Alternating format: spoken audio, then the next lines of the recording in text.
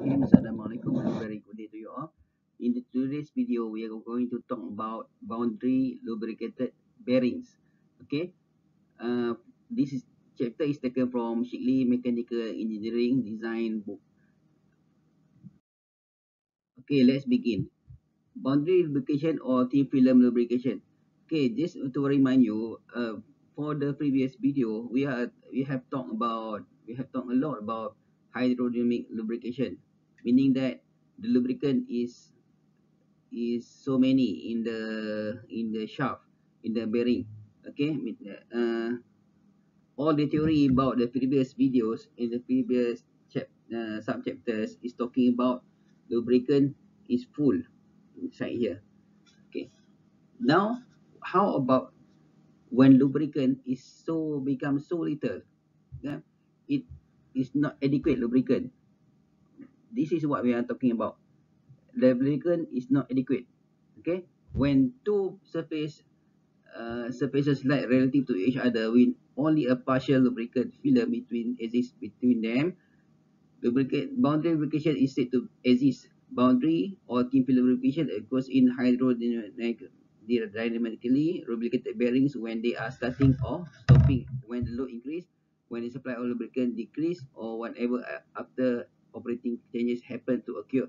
There are of course very large number of cases in which design which boundary bearings must be used because type of application or the quantitative situation. Okay, so when uh, boundary lubrication uh, always happen, okay, when you switch off the machine at night and then when you see all the machine, all the lubricant flow into the its reservoir.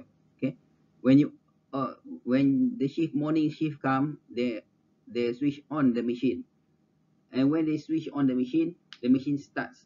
Okay, the, when the machine starts, the machine start with low lubricant, with the lubricant is so little. Okay, and then gradually the lubricant will fill up all the uh, we fill up all the uh, parts, okay, all the journal. But while doing that, the lubricant is so low, okay. Lubricant function is to avoid metal to metal contact, okay. Uh, if the lubricant is so low, or there is no lubricant, metal to metal contact, metal to metal contact will happen, and then wear and tear will happen on the bushing and on the journal itself. Okay, it's not good. Um, second condition to boundary lubrication may happen is because the load is very high. Okay, meaning when the journal, let's say my marker pen is the journal, this is the bushing. If this is so heavy, the lubricant will, uh, it will push the lubricant with the assistance of gravity, it will push the lubricant down and then the minimum film thickness is so low that maybe metal to metal to contact happen. Okay. Uh, and viscosity is lubricant is too low. Let's say that you service your car. When you service your car, 5,000 kilometer, 10,000 kilometer service, uh, and after that service, if you do not service your car in time, uh, the lubrication, the lubrication in your car will not be very good.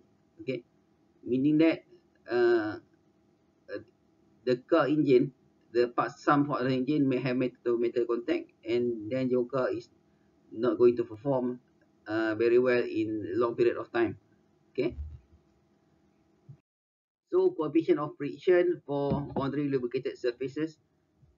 Okay, coefficient of friction or bond for boundary lubricated surfaces may be greatly decreased by use of animal or vegetable oils mixed with mineral oil or grease.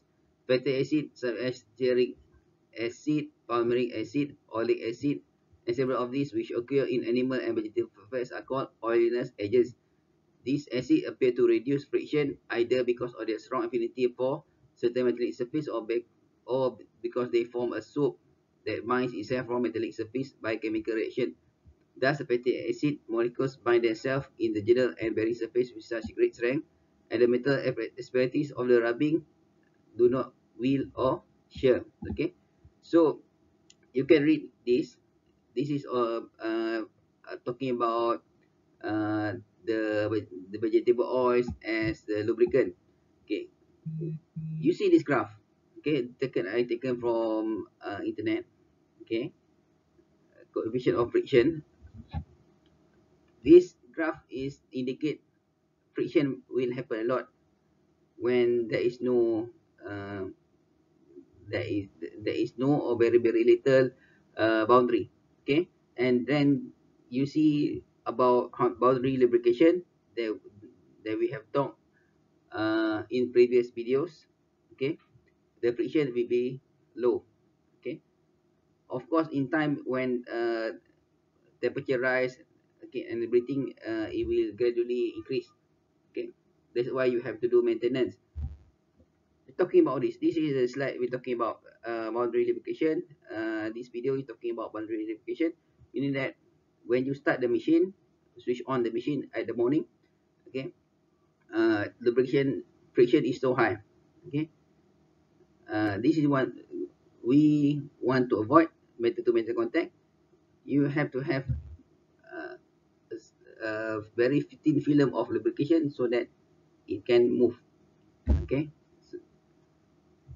Okay, fatty acids we break down at temperature 20 uh, 250 Fahrenheit or more.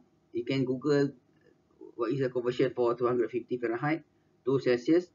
Okay, uh, this will cause increased friction and wear in thin film lubrication bearing in such extreme pressure.